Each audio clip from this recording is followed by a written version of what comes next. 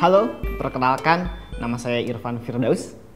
Kali ini saya akan membawakan uh, materi apa itu fisika. Maka kita akan berkenalan lebih lanjut ya. Apa sih fisika itu? Oke, kita awali dari sebuah definisi bahwa fisika itu berasal dari kata Greece atau Yunani yang berarti fusik. Fusik. Artinya apa? Fusik itu. Fusik berarti uh, pengetahuan mengenai alam, alam semesta seperti itu. Jadi ya apa saja nanti kita akan mengetahui lebih lanjut ya. Nah, banyak kan orang tuh uh, takut ya akan fisika. Padahal sebenarnya apa aja sih yang memang dipelajari di fisika itu? Cuman ada dua ternyata. Apa aja itu? Nah, yang pertama tuh fisika mempelajari materi dan energi. Materi itu apa? Materi itu adalah benda-benda mati yang ada di sekitar kita. Contoh seperti kursi, ada lemari gitu ya, bola dan lain sebagainya. Nah, sedangkan energi, apa itu energi? Energi merupakan suatu power, suatu kekuatan untuk melakukan sebuah usaha. Cuman dua itu dan jelas eh, keterkaitan antara dua komponen itu. Jadi balik lagi, apa itu fisika? Fisika merupakan cabang ilmu yang mempelajari keterkaitan antara materi dan energi. Energi dan materi, materi dan energi, ya dua itu. Oke, lanjut. Nah, dari keterkaitan antara dua uh, dua komponen tadi, maka dihasilkan sebuah cabang ilmu yang memang uh, cukup besar di fisika itu ya. Sekitar 80% fisika itu mengenai sebuah cabang ilmu yang dinamakan dengan mekanika.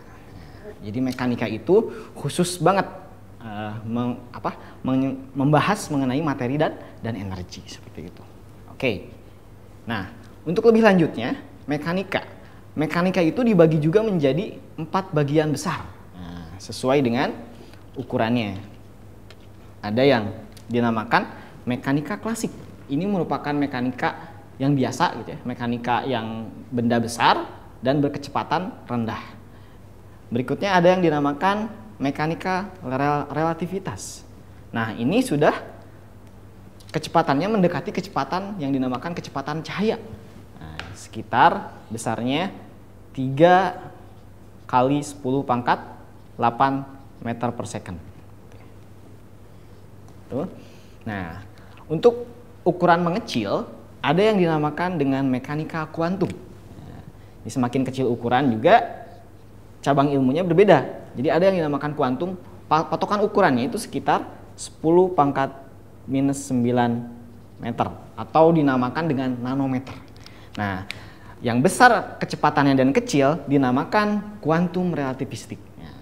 Tapi kalau untuk adik-adik yang berada di SMP, kita hanya mempelajari di sebagian sini saja, kuarternya gitu ya, yang dinamakan dengan mekanikal klasik gitu ya.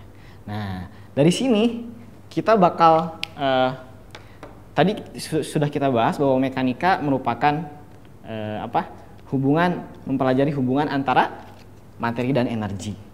Akibatnya dari kita sehingga dari mekanika tersebut kita akan mengetahui sebuah keteraturan alam gitu ya.